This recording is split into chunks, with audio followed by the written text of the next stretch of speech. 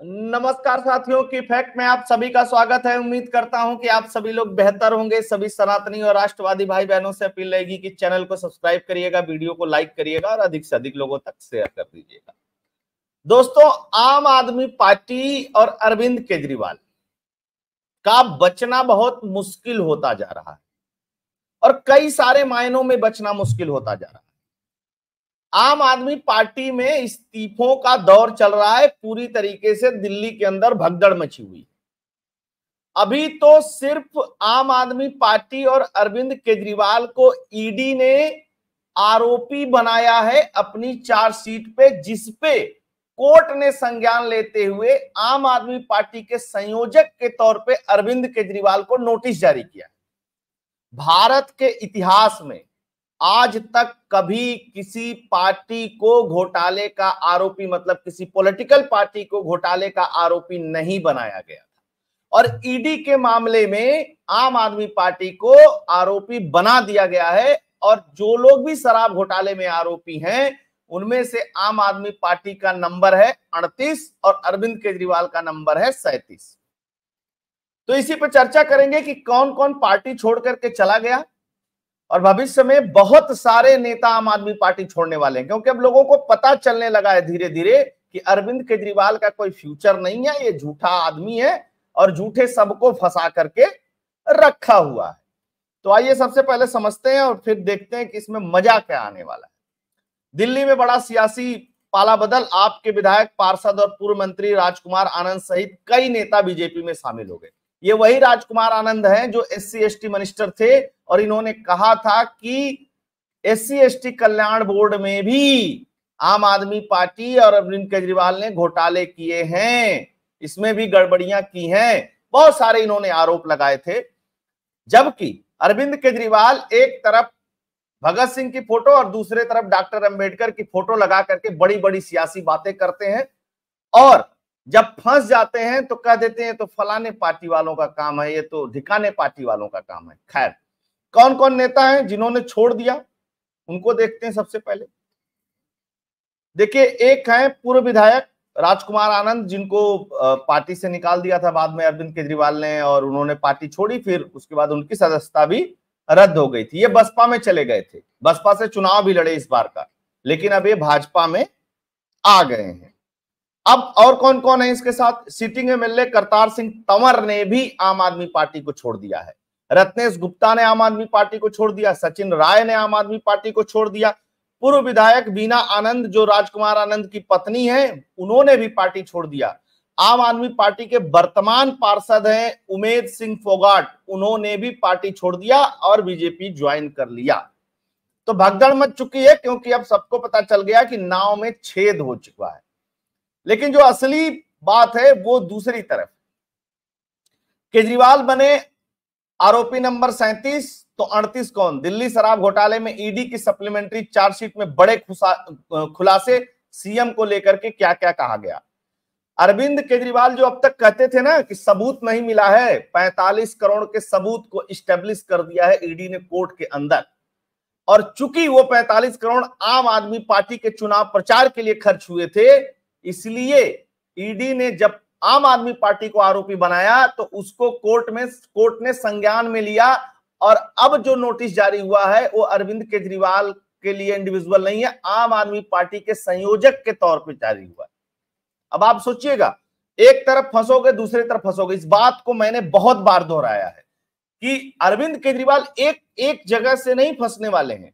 अभी तो ईडी और सीबीआई खुद अरविंद केजरीवाल के पीछे पड़ी हुई है। जो ये घोटाले किए इन्होंने। अब पार्टी भी तो अब अरविंद केजरीवाल दो तरफ़ तो आरोपी है ही, ईडी और सीबीआई में। अब ये तीसरे आरोपी बन जाएँगे, क्योंकि आम आदमी पार्टी के संयोजक भी हैं। तो तीसरे आरोपी बन जाएँगे किसमें? पार्टी के संयोजक के तौर पे। अच्छा। देखिए, अखबार क्या लिखते हैं? अखबार लिखते हैं कि आपको मिला समन। आपको, केजरीवाल को नहीं, आपको मिला समन, जेल में बंद केजरीवाल के लिए अब तक की सबसे बड़ी मुसीबत बना। दिल्ली एक्साइज पॉलिसी केस में ईडी ने आप आदमी पार्टी को पहले ही आरोपी बना लिया था, लेकिन कोर्ट ने संज्ञान नहीं लिया था। अब सम्मन जारी हो गया है। दिल्ली के मुख्यमंत्री अरविंद केजरीवाल आम आदमी पार्टी के संयोजक भी हैं। अभी तक केजरीवाल राजनीतिक अस्तित्व बचाने के लिए जूझ रहे थे, अब तो पार्टी के सर्वाइवल पर भी आफत आ गई है। अगर ये प्रूफ होता है दोस्तों तो आप मान लीजिएगा कि आम आदमी पार्टी खत्म। मतलब इसकी जो पार्टी की मान्यता है, वही खत्म हो जाएगी। हालाँकि ये जब खबर आई तो उसके बाद आम आदमी पार्टी की बड़े बड़े नेता जैसे आतिशी मालिना, संजय सिंह, ये लोग बौखला गए। अरे बाप रे बाप, क्या करना हालाँकि संजय सिंह के बारे में बता दूँ, संजय सिंह अपना पॉलिटिकल रास्ता खोज रहे हैं। और वो खोज किसमें रहे हैं? समाजवादी पार्टी में, कि किसी तरीके से समाजवादी पार्टी में एडजस्ट हो जाऊँ तो मेरा कल्याण हो जाएगा और संजय सिंह उत्तर प्रदेश की राजनीति करना चाहते हैं, दिल्ली की राजनीति छोड़ना चाहते हैं, उत्तर प्रदेश से आते भी है सुल्तानपुर से। देखिए अखबार फिर क्या लिखता है कि ऐसा पहली बार हुआ है जब आम आदमी पार्टी को दिल्ली आबकारी नीति से जुड़े मनी लॉन्ड्रिंग केस में सम्मन जारी हुआ। अब तक तो अरविंद केजरीवाल, बताओ, मुख्यमंत्री आरोपी बने थे, अब इनके संयोजक को भी मुकदमा लड़ना पड़ेगा। अच्छा जो ईडी ने जो चार्जशीट दाखिल की थी उसमें अदालत ने 12 जुलाई को पेश होने को कहा है। अरविंद केजरीवाल और मनीष सिसोदिया जेल में है। अभी तक संजय सिंह ही इस मामले में जमानत पे बाहर है। दिल्ली के पूर्व उप मुख्यमंत्री मनीष सिसोदिया जमानत के लिए सुप्रीम कोर्ट में एसएलपी भी डाले हुए हैं। अब सुप्रीम कोर्ट क्या करता है उस एसएलपी पे, वो देखने वाली बात होगी। अरविंद केजरीवाल पर पहले से ही ईडी और सीबीआई की तरफ़ से केस चलाया जा रहा है। आपका नेता होने के कारण अलग से मुसीबत खड़ी हो गई है। अब शेयर क्या किया है? एक रुपए का एक नोट है। उसका जो सीरियल नंबर हवाला का काम कैसे होता है? वो आपने देखा होगा बहुत बार टीवी में या किसी मूवी में कि एक नोट होती है, उसको फाड़ करके आधा आधा दे दिया जाता है। जैसे ही हवाला का पैसा उठाना होता है, वो दोनों नोट मैच कराता है और उसको पैसे दे देता है। अब थोड़ा और एडवांस तरीका आ गया है। जो नोट का सीरियल नंबर होता है, वो दोनों को भेज दिया जाता है। जो पैसा उठाने वाला होता है वो और जो पैसा देने वाला है, वो होता है वो। वो एक रुपये का नोट भी शेयर हो गया है। इस अरविंद केजरीवाल ने अपना मोबाइल दिया नहीं, उसका पासवर्ड भी नहीं दिया, वो तो मामला अलग चल रहा है। लेकिन जिसको भेजा था विनोद चौहान को, विनोद चौहान के मोबाइल से सारा डेटा निकाल लिया गया है और ये विनोद चौहान ही गोवा के चुनाव में एक बड़ा आरोपी है, जो हवाला के ज़रिए पैसा पहुँचा रहा था। तो जो अरविंद केजरीवाल कहते थे एक रुपया मिला नहीं ना गुरु। तो सब मिल रहा है अब धीरे धीरे हालाँकि इनके वकीलों का एक तर्क है कि ये तो सौ करोड़ बताते थे, अब पैंतालीस करोड़ पे आ गए हैं। जी, पैंतालीस करोड़ का मिल गया है, पचपन करोड़ का खोजा जा रहा है। कहीं इतने परेशान है केजरीवाल जी? अच्छा। दूसरी मुसीबत और आई आम आदमी पार्टी के ऊपर या एक कह सकते हैं केजरीवाल के ऊपर। इनकी पत्नी ने कोर्ट के अंदर की वीडियो रिकॉर्डिंग करके, ऑडियो रिकॉर्डिंग करके अपने सोशल मीडिया प्लेटफॉर्म पे डाल दिया था। इसको लेकर के कोर्ट ने संज्ञान लिया है और सुनीता केजरीवाल को भी नोटिस भेजा है कि आइए इस पे जवाब दीजिए। चूँकि इनको क्या लगता है, जो बाहर मीडिया में हम नौटंकी करते हैं, वो वाली नौटंकी कोर्ट में भी चलेगी। हालाँकि अब इस मुद्दे पर जो जिस जस्टिस ने राव एवेन्यू कोर्ट के अरविंद केजरीवाल को जमानत दी थी, जिनका नाम न्याय बिंदु था, खुद ही न्याय बिंदु था उनको फिर से एक हज़ार पन्ने की नहीं 200 पन्ने की जो ईटी की सप्लीमेंट्री चार्जशीट है, उसको पढ़ लेना चाहिए और तब बताना चाहिए कि सबूत है कि नहीं है। देखिए जुडिशरी का काम क्या होता है? जुडिशरी का काम बहुत सिंपल है। जो कानून है, उसके तहत जो सबूत है, उस पर बहस करके निर्णय देना। उसका ये नहीं होता है काम कि नहीं नहीं, हम सबूत नहीं देखेंगे, नहीं पढ़ेंगे, हमारे पास टाइम नहीं हम तो ऐसे ही जमानत दे देंगे। खैर अदालत का नया सामान आम आदमी पार्टी को जारी हुआ। पार्टी संयोजक यानी नेता के नाते सारी बातों के लिए उनको जिम्मेदार माना गया है, इसलिए उनके लिए बड़ी मुसीबत है। अब देखिए, यही नहीं, अब अब जब पार्टी आएगी इस दायरे में, इस पार्ट का सबसे इंटरेस्टिंग चीज़ क्या है कि जब पार्टी दायरे में आती है, तब अरविंद केजरीवाल सिर्फ़ नहीं। अब इनके जो कैशियर हैं, वो भी फंसेंगे। आम आदमी पार्टी के जो गोवा के प्रभारी रहे हैं या जो भी प्रदेश अध्यक्ष रहे हैं, वो भी फंसेंगे। और सात आठ बड़े नेताओं से जो गोवा के हैं, उनसे ईडी पहले ही पूछताछ कर चुकी है। और उसमें से कई सारे लोगों ने बताया भी है कि हमको पैसे मिले थे। अब आप खुद सोचिए, जो, जहाँ डेली नौटंकी होती थे, एक चीज़ और आपको अपडेट बता दूँ। अभिषेक मनु सिंघवी को कांग्रेस राज्यसभा भेजने के लिए तत्पर है कि किसी भी तरीके से राज्यसभा भेजा जाए। क्योंकि प्रधानमंत्री नरेंद्र मोदी ने एक बात कही थी कि छोड़े कोई भी नहीं जाओगे। अब राहुल गांधी और कांग्रेस पार्टी को यह लगता है भैया अभिषेक मनु सिंघवी को राज्यसभा भेजना बहुत ज़रूरी है। अगर जैसे एक बात होती है ना कि भाई जब आपको समझ में आ जाए कि भाई ये वाला व्यक्ति यहाँ पे बहुत इंपॉर्टेंट है बहुत काम का है। क्योंकि पहले कपिल सिब्बल इनके बहुत काम के थे। तो कपिल सिब्बल को इन लोगों ने छोड़ा कपिल सिब्बल को छोड़ा तो कपिल सिब्बल समाजवादी पार्टी से राज्यसभा सांसद चले गए। तब वो समाजवादी पार्टी लालू प्रसाद यादव का हेमंत सोरेन का इन लोगों का केस लड़ते हैं।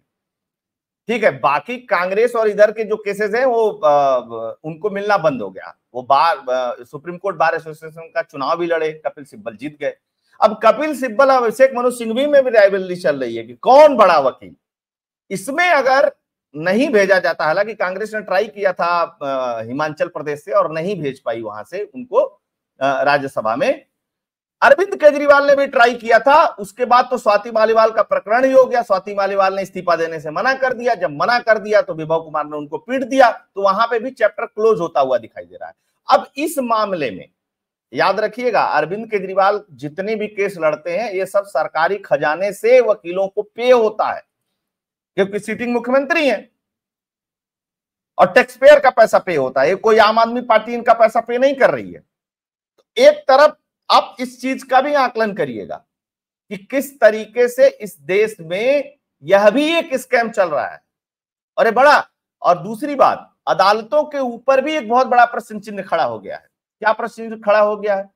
ये हो गया दोस्तों कि अरविंद केजरीवाल और अरविंद केजरीवाल के वकीलों में कौन सी ऐसी चीज़ है, कौन सी ऐसी खूबसूरती है कि अदालतें दो दिन, चार दिन में इनके मामले पे तुरंत सुनवाई कर देती? तुरंत। यहाँ पड़ गया कोर्ट में, वहाँ पड़ गया कोर्ट में। High court, supreme court, district court, जमानत मिलनी, नहीं मिलनी अलग बात है।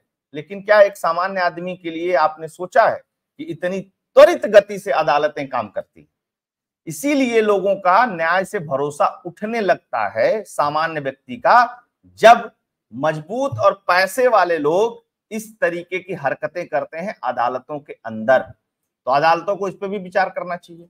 हालाँकि बारह को इनको बुलाया गया है, एक मामले में 25 तक जेल में रहेंगे, एक मामले में 15 तक जेल में रहेंगे। अब आम आदमी पार्टी के संयोजक के तौर पर बुलाया गया है और ये मुसीबत बड़ी है। आप एक बात मान करके चलिए कि अगर सबूतों के आधार पे और उसके मेरिट और बहस के आधार पे मामला चलेगा तो अरविंद केजरीवाल को कम से कम सात साल की सजा होगी इस पूरे मामले में। और पार्टी फंसती है तो पार्टी की सदस्यता रद्द होगी। और इन सब सारी चीज़ों को आम आदमी पार्टी के अंदर जो नेता हैं, वो जितना जल्दी समझेंगे, उतनी ही जल्दी आम आदमी पार्टी को छोड़ करके फरार होंगे। अब केंद्र सरकार से भी एक शिकायत है। शिकायत क्या है? दिल्ली में इस समय पॉलिटिकल क्राइसिस चल रहा है। आम आदमी पार्टी और अरविंद केजरीवाल को, खासकर अरविंद केजरीवाल को मुख्यमंत्री के पद से बर्खास्त करके वहाँ पे राष्ट्रपति शासन लगा देना चाहिए। है ना? क्योंकि अदालतें और ईडी सीबीआई जो काम कर रही है, कर ही रही है। जो दिल्ली का संवैधानिक संकट है, उस पर एलजी साहब को त्वरित संज्ञान लेने की ज़रूरत है। क्योंकि एक प्रदेश का मुख्यमंत्री जेल के अंदर बंद है, वो प्रदेश कैसे चल रहा है, इस बात का जवाब भी जनता जानना चाहती है। तो अरविंद केजरीवाल की मुसीबतें कम होने के बजाय बढ़ती जा रही हैं। बाकी देखते हैं इस मामले में क्या होता है। आप लोगों को एक वीडियो के माध्यम से मैं बताऊँगा कि किस कौन कौन से सबूत मिले हैं, उसका डेटा है मेरे पास, वो किसी दूसरी वीडियो में मैं बताऊँगा। हालाँकि बहुत सारे लोग इस समय जुड़े हुए हैं, सभी लोगों का बहुत बहुत धन्यवाद। अगर आपको वीडियो एनालिसिस और फैक्ट्स पसंद आते हैं चैनल के तो चैनल के लिए कंट्रीब्यूट भी करिएगा। फ़ोन पे पेटीएम का नंबर स्क्रीन पे दिया हुआ इसके थ्रू आप डोनेट कर सकते हैं। लाइक करिएगा, अधिक से अधिक लोगों तक शेयर करिएगा, लोगों को प्रेरित करिएगा कि उस चैनल को सब्सक्राइब करें और राष्ट्रवादियों को मज़बूत करें। जय हिंद, जय भारत, जय श्री राम।